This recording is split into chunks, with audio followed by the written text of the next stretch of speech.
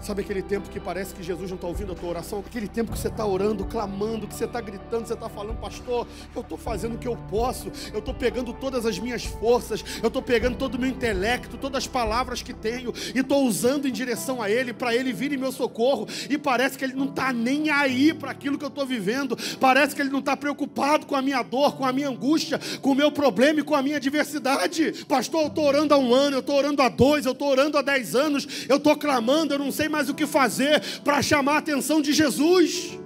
Pastor, eu não sei mais que caminho trilhar para chamar a atenção de Jesus. Bartimeu viveu isso, irmãos. Sabe o que Bartimeu está vivendo aqui? Uma aparente indiferença de Jesus. Ele está gritando e o que, que a gente acha? O que, que a gente pensa? Quando eu pedir socorro a Jesus, Jesus vai me socorrer prontamente, não é? Quando eu gritar, Jesus vai vir logo. Bartimeu está, Jesus, filho de Davi. E a caravana está passando. Jesus, filho de Davi, tem misericórdia de mim. E Jesus continua andando. Sabe por que Jesus fez isso? Sabe o que parece que às vezes Jesus aparenta não te ouvir, não olhar para você, não ver o que você está passando, não ver a tua dor, não ver o teu sofrimento. Parece que Jesus anulou você da agenda dele, que Jesus abençoa todo mundo e que você está se perdendo aí, que Jesus não está nem aí para a tua vida e para o teu problema.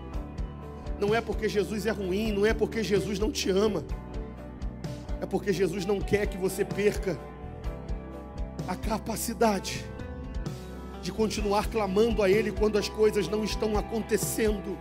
Irmão, sabe uma certeza que eu tenho sem criar nenhum tipo de heresia?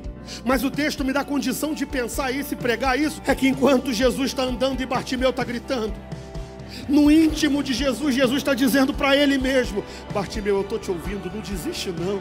Bartimeu, eu estou ouvindo o teu clamor, não para não. Bartimeu, clama mais um pouco. Bartimeu, eu já estou chegando. Bartimeu, eu estou ouvindo a tua oração. Bartimeu, a tua oração, o teu clamor não estão passando despercebidos diante de mim. Bartimeu, eu sei da tua dor, eu te conheço antes que você fosse formado no ventre da tua mãe. Bartimeu, eu sei exatamente o que é todo dia você se sentar nessa beira de caminho para ficar pedindo esmola. Mas eu quero te dizer uma coisa, Bartimeu: não para de clamar, porque Bartimeu acaba hoje.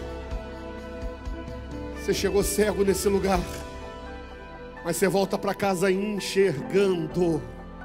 Você volta para casa vendo. Bartimeu, eu vou restaurar a sua vida.